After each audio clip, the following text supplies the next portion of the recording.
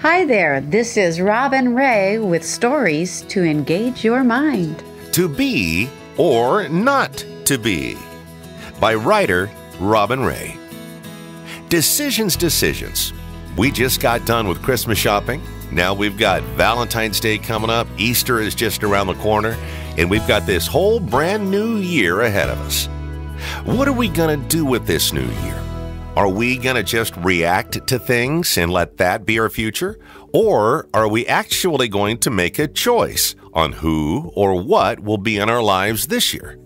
Whether it's big changes or just a few small ones, we really do have a say so in what we want in our lives. By thinking about how things worked for us last year, we can determine what worked and what didn't. Then we will be able to make new things happen. We need to make new decisions to have new actions take place.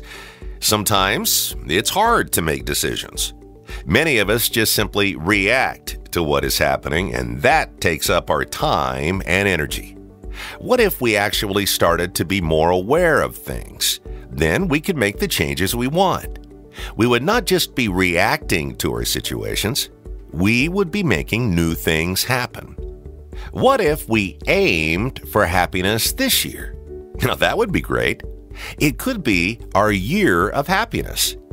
I guess we would really have to think about what makes us happy now, not what made us happy five years ago, because, you know, things have changed. We have changed. If we look at who we are now and what we like to do now, then we can build on our happiness.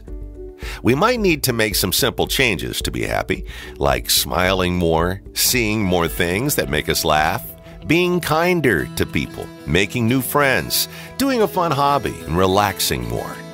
Maybe, just maybe, being happy is making things less complicated. Whatever happiness means to you, my friends, I know that you will make it happen this year.